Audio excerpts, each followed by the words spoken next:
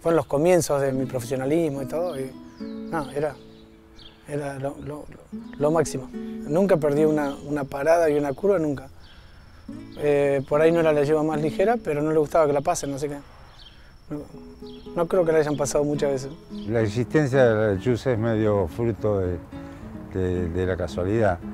Ella formaba, era la cabeza de un lote de, de 13 potrancas, de las cuales tuvimos que, sacri- que sacrificar 12 por anemia. Y Yo creo que el año 86 debe haber sido la mejor llegada de Juan Gonzalo, debe haber sido la lechuza seguro.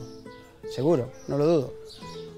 Era zaina colorada, eh, toda tapada, no tenía nada así de- que se destacaba. Lo que sí de arriba te hacía feliz, porque era impresionante la, la cantidad, cómo te llevaba la pelota, te llevaba cómodo, parecía que no ibas ligero, ibas...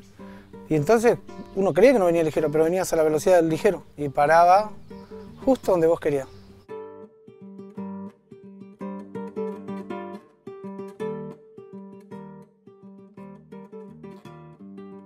Se topó con las mejores, con las mejores de ese momento y que siguen siendo las mejores ahora. Compitió contra las, contra la lleva de verdad. Ella, el único momento flojo, pobrecita, que tuvo fue el último año de.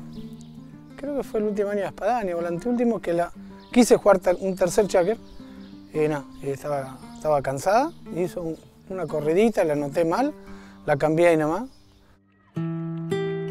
Y a la lechuza la había vendido y la recompré para cría. Eh, como madre muy buena, muy buena. Y me generó mucho, mucha cría.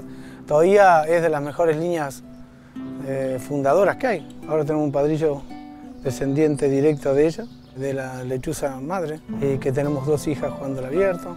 Quedó mucho y dio, fue, fue muy generosa con nosotros.